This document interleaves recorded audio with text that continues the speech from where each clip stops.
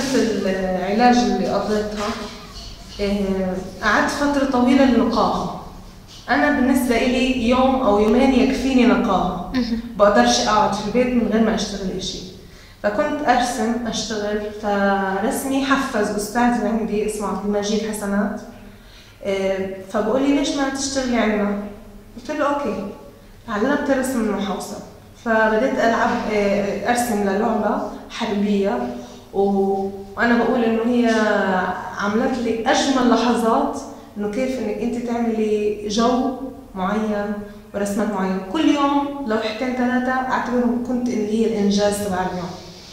بعدين آه، أنا كنت داخلة ماجستير وأنا كنت نفسي إنه أضل أشتغل مع الأطفال لأنه طول عمري بحب الأطفال. فعرضت على ماما قلت لها ماما أنا بدي أشتغل في روضة. فقالت لي ليش يا ماما؟ إحنا بنعمل روضة وبطريقتنا إحنا كيف نتعامل مع أطفال خصوصا إنه ماما آه، أخصائية تربوية فإنه ليش مش إحنا نعمل اللي هي ميثود نعمل مثال لتعليم الأطفال فاخترنا المنطقة هاي لأنه فيها. آه، أول شيء صار فيها قبل فترة اللي هي قصف وأغلب الأطفال في المنطقة معانين تراما فكيف إحنا نعالج الأطفال عن طريق الفن وهي كانت أساسا العلم الماجستير اللي كنت ناوية اعمله فبديت أطبق الموضوع مع الأطفال اللي عندنا. سبحان الله. يعني النتيجة كانت كثير سريعة. كان في عندنا حالات تبول لا ارادي كان عندي حالات آه، خوف صراخ متكرر هستيري هلأ الحمد لله كله هذا انتهى. آه، برنامج النطق تبعهم انتهى خلال أول ثلاث أربع شهور. كانوا كلهم الحمد لله نهوا البرنامج آه، آية بخصوص الفن يعني خدمك فيه في هذا المجال بما أنك يعني فنانة تشكيلية وعلى قدر يعني من المسؤولية بجانب الأطفال ودعم الأطفال بهذا الفن. وجود الأطفال وجود آه، اللي هي العقبات الموجودة. هذا ما نساني إنه أنا أرجع ارسم أعمل الحاجات اللي أنا بحبها. كان خلال كل أسبوع أسبوعين أكون مخلصة بالذات أربع خمس لوحات. وكان نتاجهم بعد اللي هي المرض اللي هي معرض كونسرت.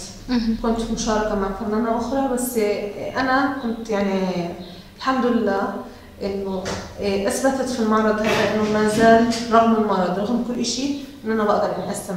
هلأ مشروع مشاريعي هلأ الحالية كان بذرة تدريب آه، للفنانين التشكيليين تحت تمويل وإشراف التقاء للفن التشكيلي.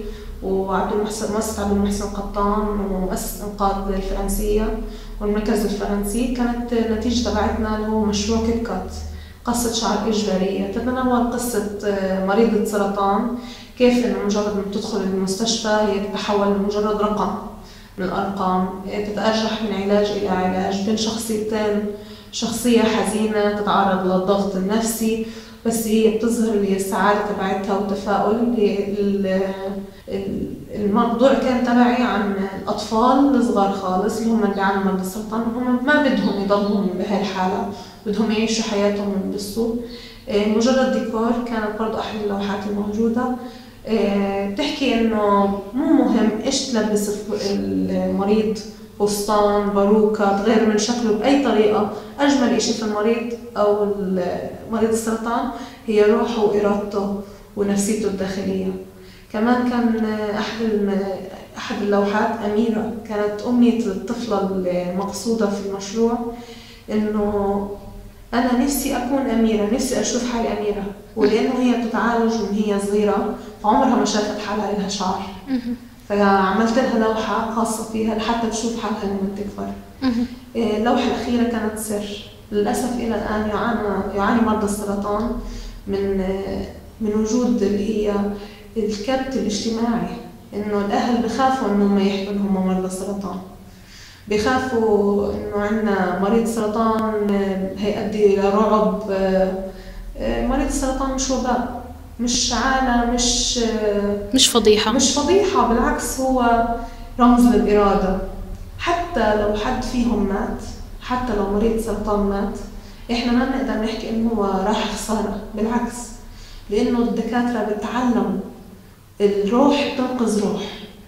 ومش روح واحدة بتنقذ أرواح. فاللي واحد بيروح هذا شهيد لعلم شهيد لرسالة. بنقذ أرواح غيره. وفي نفس الوقت وجوده في المجتمع هو ابتسامة هو دعم هو قوة وطاقة.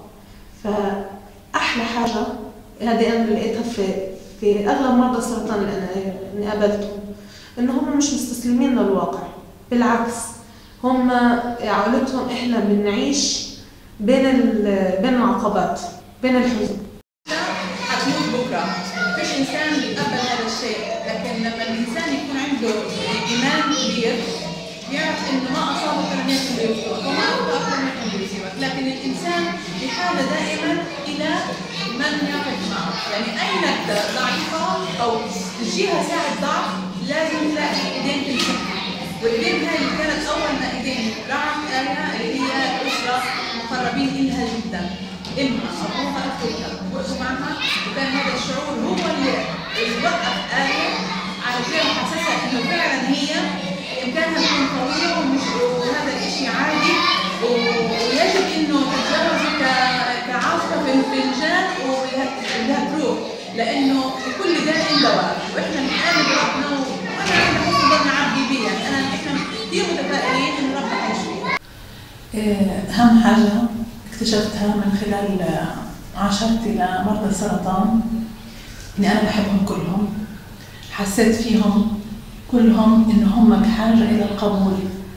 هم كلهم قادرين يتأقلموا مع مرضهم وقادرين يتعاملوا مع مرضهم وقادرين يتعاملوا مع رغباتهم وأمنياتهم. لكن المشكلة في اللي حواليهم إنه كل واحد في اللي حواليهم أو في الآخرين مش مقتنع إنه هذا الشخص المريض قادر إنه يحقق أي شيء. هو عمال بيقتله يوميا إنه بيشعروا إنه لا أنت مريض ومش قادر تعمل أي حاجة. فأنا مع إنه ان نديهم الفرصة ونستقبلهم ونريحهم. أهم حاجة في مريض السرطان إنه مستني إنك تمدله إيدك بالقوة عشان تقوم عن التخت مش تقول له ده خليك نايم. مستني إنك تديله القلم عشان يكتب مش عشان يسكر الكتاب بالعكس كل المرضى اللي كانوا معنا في تل ابيب كانوا مبسوطين جدا يوم بستلم الكتب تبعهم وقعدنا نورجيهم الصور وقعدنا نورجيهم حاجة. عندهم أمل وعندهم مستقبل. كل واحد فيهم بدور على مستقبله. بس إحنا في حاجة في امي كانت كثير تزعل لما تلاقي إنه مجرد ما بنتها تقعد بين البنات التانيين بينفروا منها وبيغيروا المكان وبيقعدوا مكان ثاني إحنا مع إنه أنا أنشر فكر إنه مريض السرطان مش معدي. مريض السرطان شكله حلو جميل يجب أن تتقبله حتى لو كان ما عندوش شعر لو ما عندوش رموش لو ما عندوش أي آه لو كان كئيب لو كان شاحب إحنا بدنا نعطي له الامل هذا أهم حاجة.